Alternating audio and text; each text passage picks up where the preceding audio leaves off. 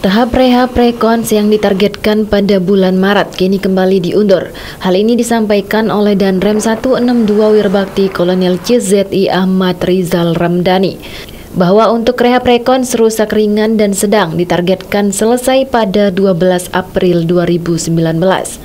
Sebelumnya tahap rehab rekons ini ditargetkan selesai pada bulan Februari 2019, namun diundur menjadi bulan Maret dan kini kembali diundur pada bulan April 2019.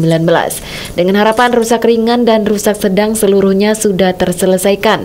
Dalam arti semua dana sudah didistribusi dan untuk yang rusak sudah diperbaiki oleh masing-masing masyarakat.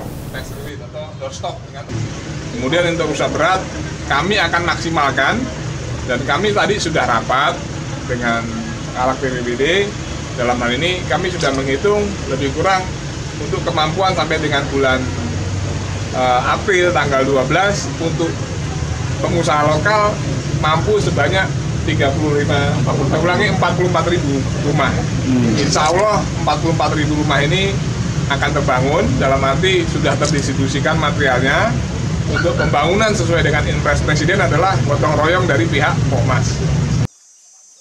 Menurut pengakuan dan Rem 162 Wirabakti, Kolonel CZI Ahmad Rizal Ramdhani, rekening yang dibagikan ke masyarakat yang rumahnya rusak ringan dan sedang, kini sudah full didistribusikan pada Senin kemarin. Sementara itu rumah rusak berat sejauh ini masih dalam proses lantaran masih dalam verifikasi. Sementara itu untuk rusak berat akan dimaksimalkan. Hal ini sesuai yang dikatakan Dan Rem yang telah melakukan rapat dengan BPBD dan sejumlah pihak untuk menghitung kemampuan bulan April 2019.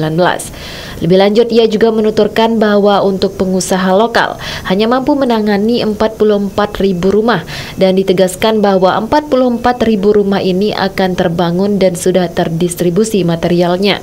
Dan untuk pembangunan ini sesuai impres Presiden yaitu gotong royong dari pihak Pokmas. Dari Mataram, Nusa Tenggara Barat, Tim Liputan, GET TV.